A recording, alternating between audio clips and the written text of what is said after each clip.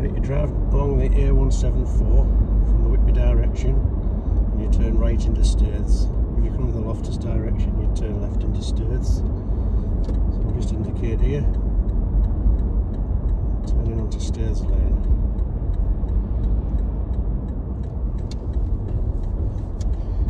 You drive along Staithes Lane. By the way there's a good chip shop on the right hand side just here called Excelsior Fisheries if you fancy some fish and chips drive along here. About 500 metres ahead in the distance there there's a the Captain Cook pub. Again it's another great pub. Good uh, beer. Good food.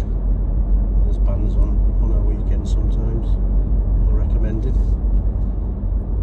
Where you see the Captain Cook just uh, indicate left. And there's a little spur in the road that takes you down towards the old village. Just go down there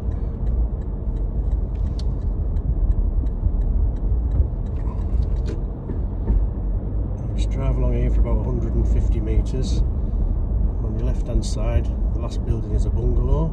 Next to that bungalow, there's five parking spaces, which are my premium parking spaces.